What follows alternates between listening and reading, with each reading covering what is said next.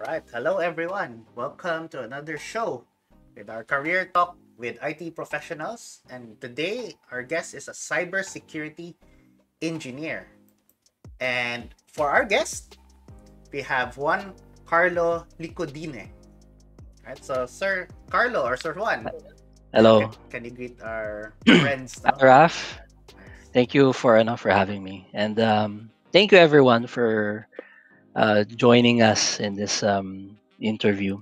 Uh, I do hope I could be able to uh, to impart a lot of um, uh, knowledge, uh, especially since uh, to those younger viewers who are here. Correct, correct. And so for our audience, uh, let's kick it off, no? And let's ask Sir Juan Karlo, what is a cybersecurity engineer?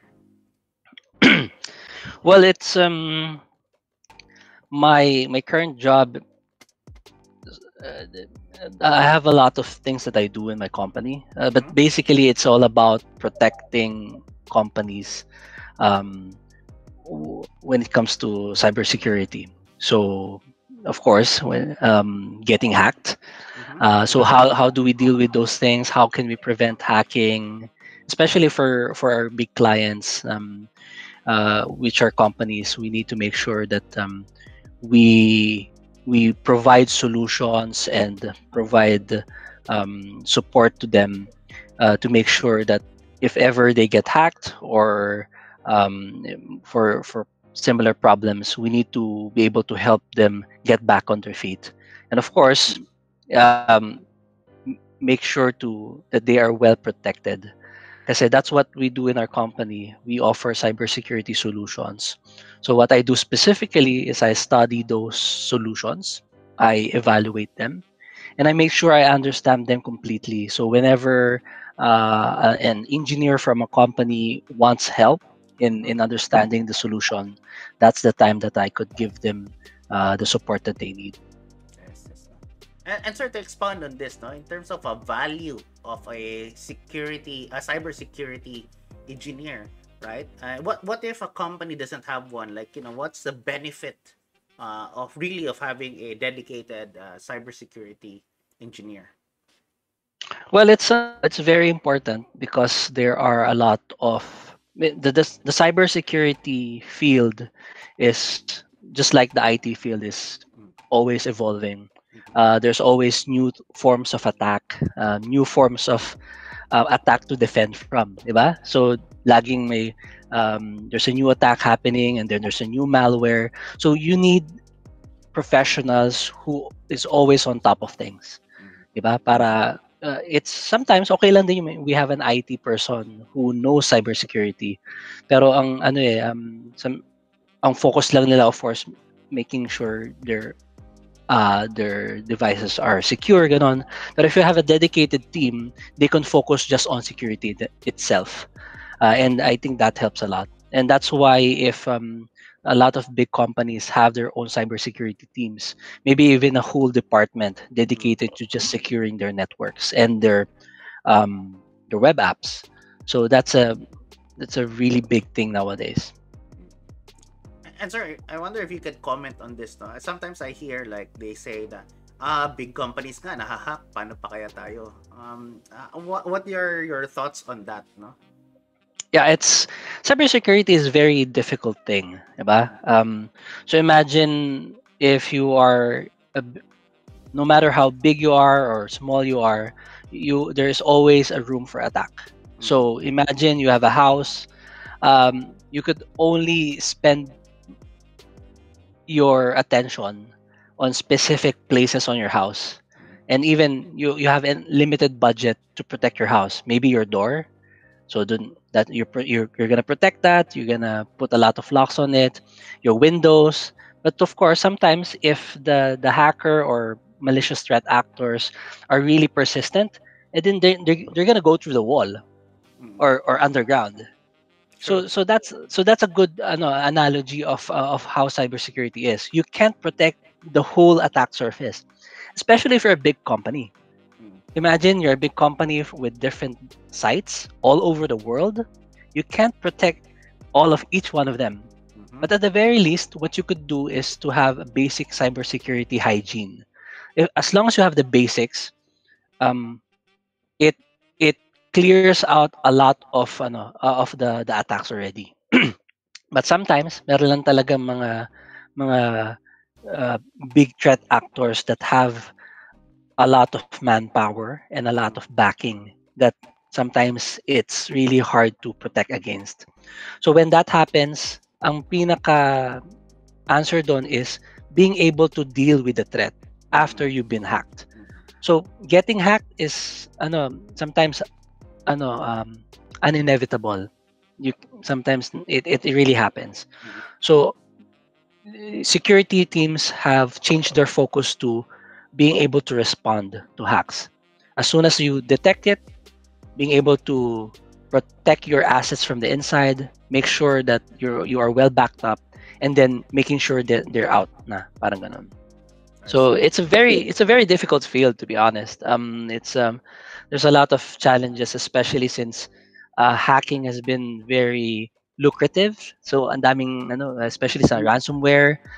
So a lot of um, bad actors are getting rich from it, and it has been, um, I guess, inspiring other hackers to to do the same. So that's why there is a big need for cybersecurity professionals, especially nowadays.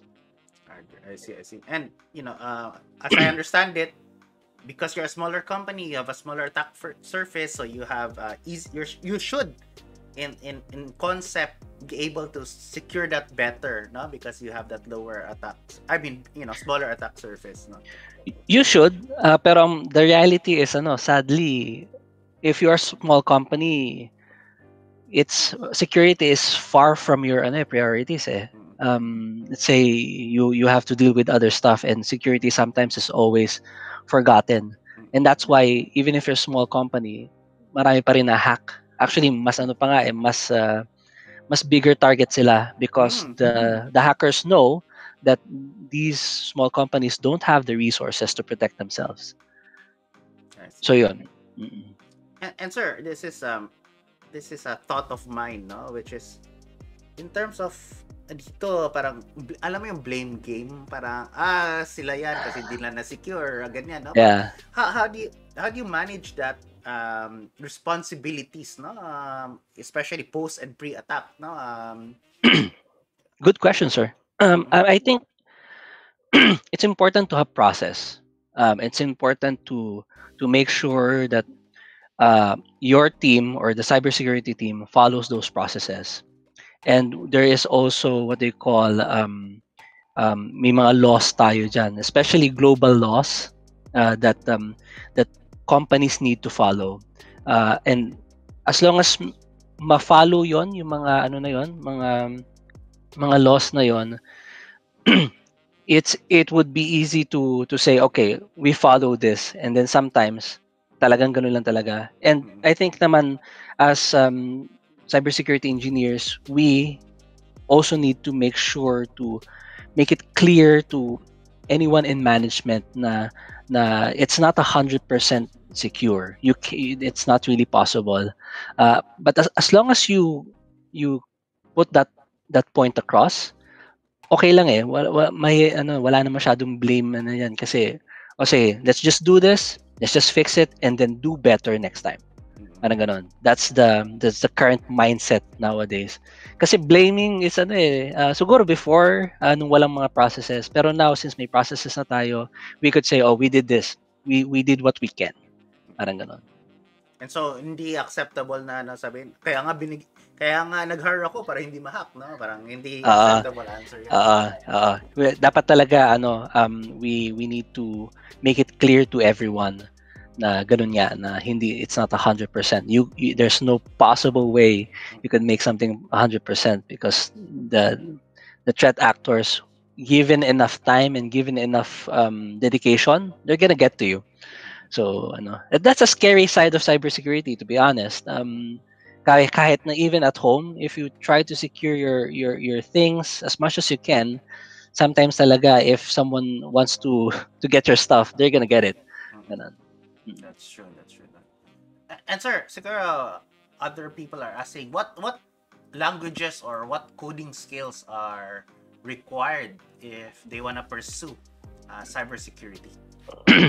so there's two sides in cybersecurity. Uh, there's the blue team or the defensive side, which I am on, and there's also the red team, which is the offensive side. Mm, okay. So so imagine the offensive side is you're you're gonna simulate. You're, you're the hacker, and you're gonna try to infiltrate the company.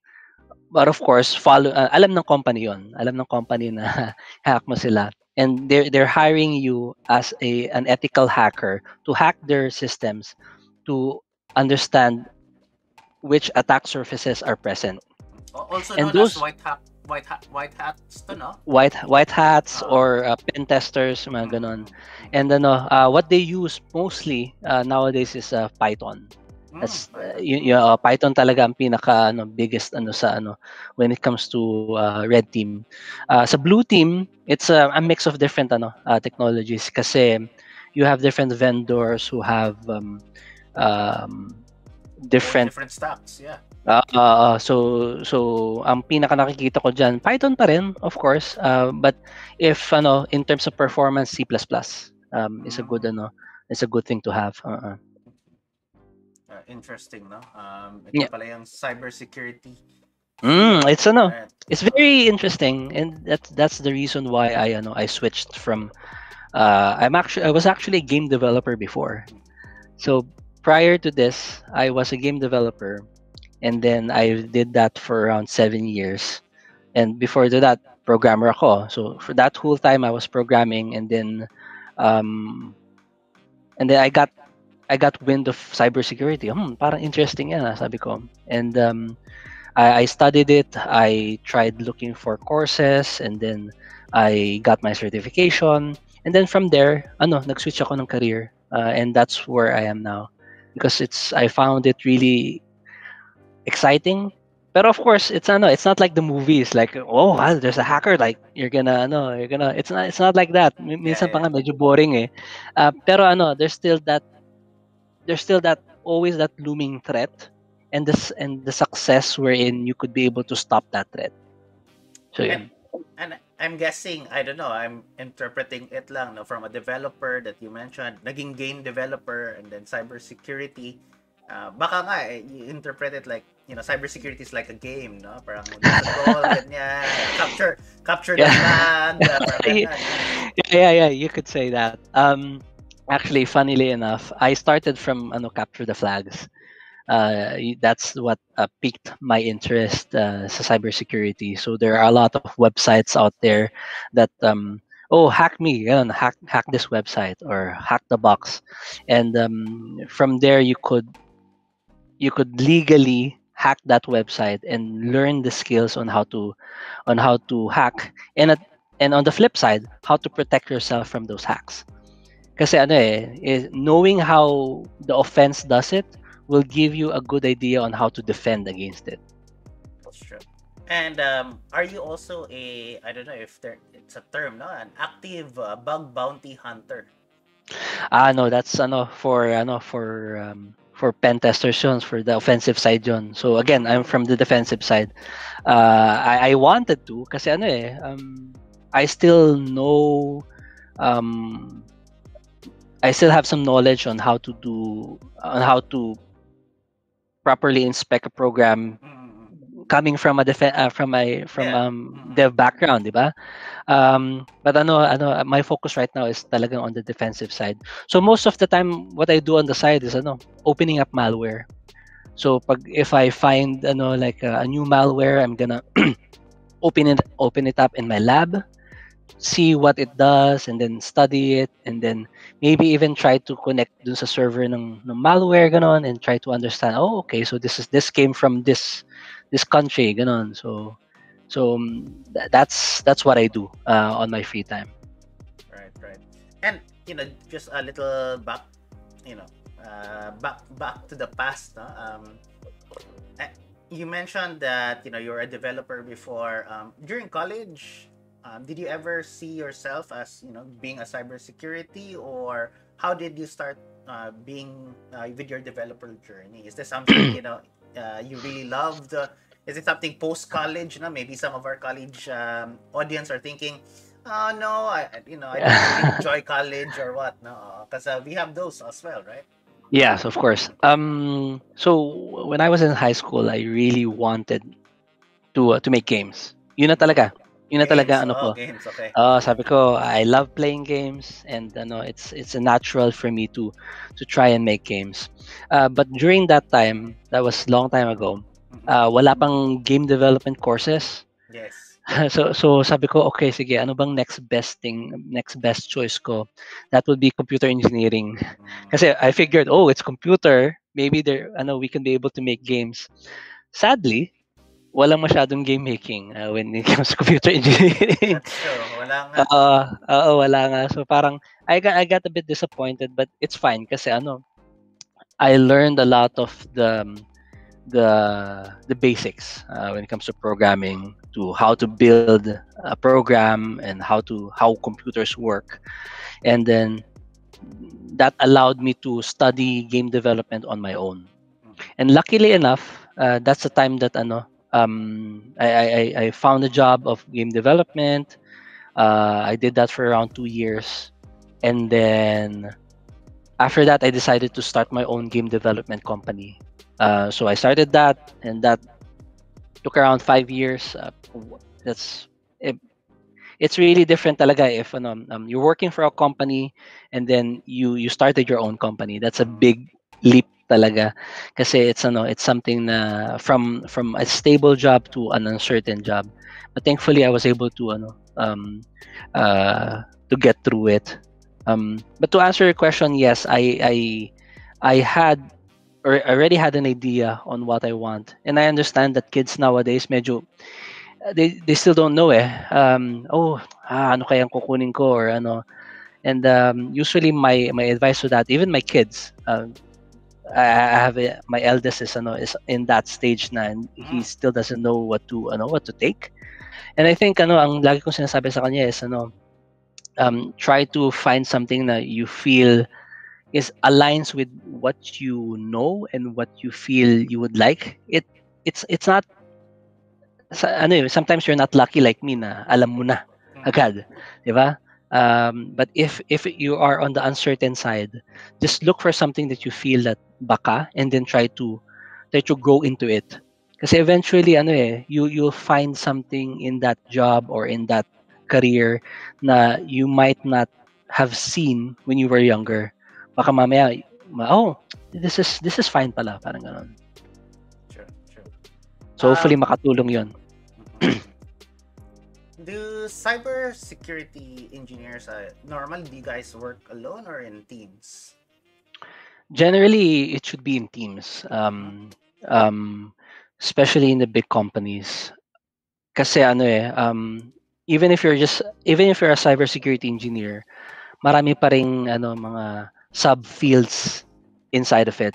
Mhm. So um, there are cybersecurity professionals that focus on, like I said, yung attacking. Mm. Uh, merong uh, that specialize in malware. Merong nag-specialize in uh, hunting for threats. So let's or or looking for threats inside your network. And meron din mga securing. So so you need a lot of those different ano subfields to form a good team. You, you can't just have one. Um, I think wa- mga ang mga biggest talaga na ano na teams is ano is a whole center of ano cybersecurity engineers each with different tiers. So you have a level 1 cybersecurity engineer, level 2, level 3 ganon. And then each one deals with uh, increasing forms of ano of uh, of attacks or problems that they deal with. So just to give you guys an idea. Um, is there any um, particular set of skills or maybe like a um, certification path that helps you get hired more as a, a cybersecurity? Yeah. Um, certification is, I'm not, it's, certification can help a lot, especially in this industry. Kasi the industry is still young, uh, it's still growing a lot, and there aren't a lot of schools here in the Philippines that offer cybersecurity. Mhm. So the only way for companies to determine if you know what you're talking about or you know how to do cybersecurity is through certifications. Um, there are a lot of certifications nowadays. Um, just to throw some ideas out there, there are um, um, eLearnSecurity. Um, meron din tayong SANS, although that's very expensive if you look at it. It's very expensive. But um, ang importante dito is there are a lot of um, uh, certifications out there. If you don't want to go to the certifications route, uh, meron din tayong mga courses. Um, there's um, uh, maraming courses out there. Um, shout out to ano to Guide M. That's one of the the the courses that I took, and I learned a lot from that. Uh, they they offer both uh, defensive and offensive side.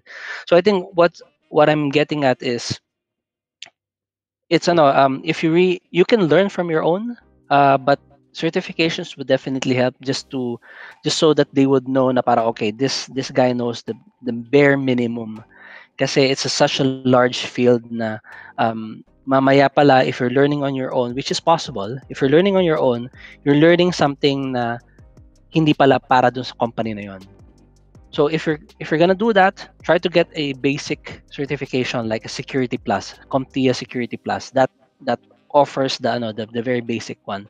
Try to get that and then ano ka na um you'll be on above ano ka na angat ka na from the rest na walang mga certifications Because uh, I would assume, you know, if it's hiring for cybersecurity, medyo mahirap i uh, exam, i, ex, i, yung parang coding exam, no? Uh, or medyo mahirap siya i, on the spot. exactly Uh, eh, Oo. oh. Coding exam ano eh um you know na you, you could show to the ano to the yung sa hiring manager what you can do. Pero sa cybersecurity how can you show that? And unless of course kung offensive ka. Kung offensive ka they have exams.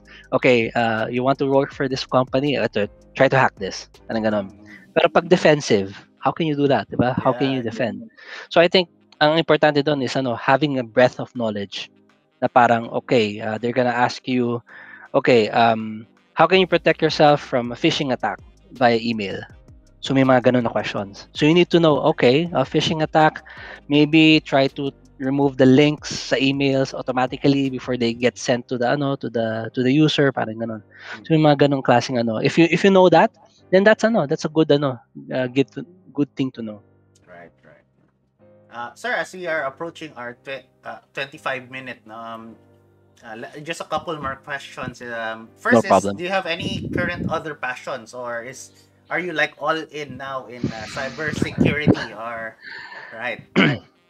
Well, ano, uh, I, I I'm really passionate about making stuff. Um, so i- in the form of code, uh, music, food, even I, I, cook cooking, Mm. electronics, and even woodworking. I've been doing woodworking. So yeah, it's ano, it's um, I I really love the experience and joy of making something out of Mhm. nothing, uh, and um, and as long as I can be able to ano to create something, I'm I'm happy na. And what's what's funny is, 'di ba, what started this journey was my love of playing games. Playing games, yes. Oh. Nowadays, hindi na ako masyadong naglalaro eh. Mm. Um, it's it's sad to say kasi siguro I've grown out of it. And the joy of the joy of playing napalitan na siya by the joy of making. It has it has the same uh feeling for me. That's why that that's what I do it. Baka the game of life ka na. No? Oh, na- exactly. it's ano na, siguro it's a part of growing up na rin. Mm. Na eventually you'll you'll grow from it and you you'll you'll find something different that will interest you and that's that's the nice thing about life, 'di ba? It there's a lot of things to explore. Right, right, right. And so, sir, last our last question now is um, basically, you know, how to be you po, or um, you know, if they want to be successful um, like you, what is it to be successful like you? No? Ah, um siguro ano, always have a goal in mind. Um I think that's when uh, when whenever I try to make decisions, I always make sure that it aligns with my goal. Mhm. Na like for example, yun nga, I wanted to be I wanted to make games. So I've set my mind into into making games and I achieved it. Because every every decision that I make always pointed to that. And I think that's that's that's the that's the recipe for success or at least for me. Kasi ano um as long as I always have that on the back of my mind, I'll eventually get there.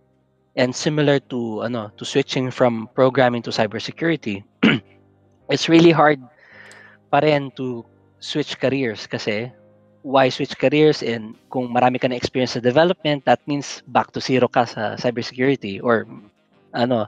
So but I really wanted to have a different career. I really wanted cybersecurity. So I've set my mind to it and then ayun, it's so it's always that. Um have make sure you have a goal, a goal that you can reach. First, understand what your capabilities are.